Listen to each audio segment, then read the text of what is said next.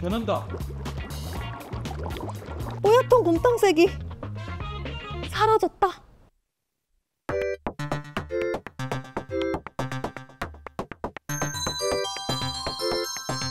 한번 푹 고아놓으면 하루, 이틀, 아니 일주일까지도 메뉴 걱정이 없다는 바로 그 사골곰탕. 예전이야 큰 들통에다 하루 종일 푹 고아서 만들었지만 이제는 이렇게 제품으로 나와서 단 몇 분 만에 든든한 한 끼 곰탕을 만날 수 있죠. 이 곰탕을 그 자체로 즐기기도 하지만 박스째 쟁여두고 김치찌개, 부대찌개, 청국장 등 각종 국물 요리의 베이스로 활용하는 분들도 많아요. 그런데 곰탕을 끓이려다 제품 패키지 뒷면에 희한한 문구가 눈에 띄었습니다. 아니 맑은 국물이 탁해지는 경우는 많이 봤어도 탁했던 국물이 맑아진다고요?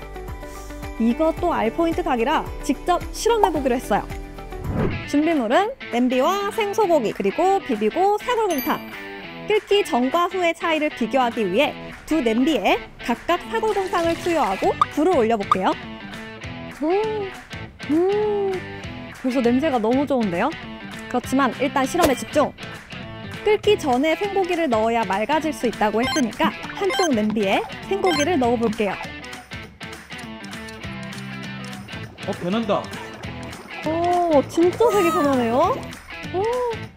실험을 해보니 생고기를 일찍 투여한 사골곰탕의 경우 60도를 넘어서자 갈색을 띠는 침전물, 응고물 같은 게 생기기 시작하더니 뽀얗던 국물이 거짓말처럼 투명해졌습니다. 반대로 팔팔 끓는 곰탕에 생고기를 투여했을 때는 별 반응 없이 우리가 바라던 진하고 뽀얀 국물이 완성됐는데요.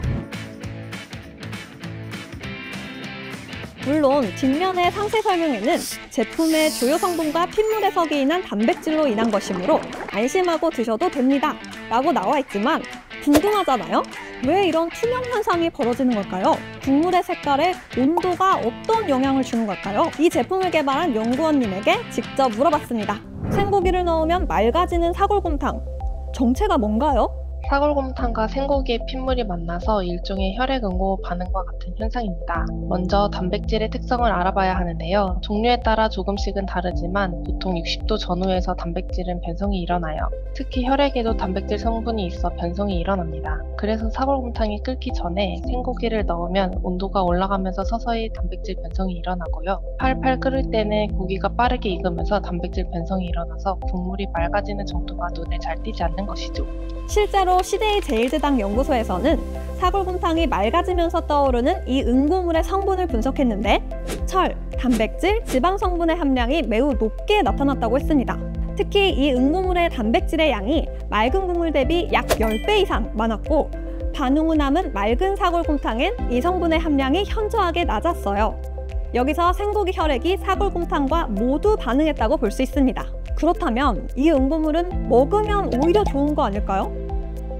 어, 말씀드렸듯 주로 생고기에서 나온 핏물의 형태가 변한 거기 때문에 드셔도 전혀 문제는 없습니다.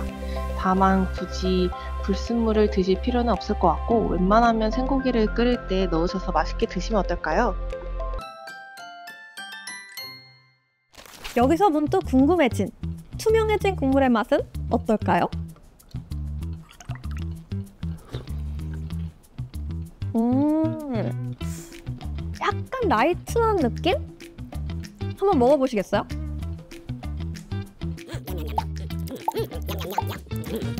사골곰탕의 다양한 영양 성분이 생고기의 혈액 성분에 엉겨 붙으면서 맑아진 국물에서는 확실히 곰탕 본연의 모습이 드러나진 않았습니다. 푹 고아 삶은 뽀얀 사골곰탕을 제대로 즐기려면 꼭 국이 팔팔 끓을 때 고기를 투척하길 추천드려요.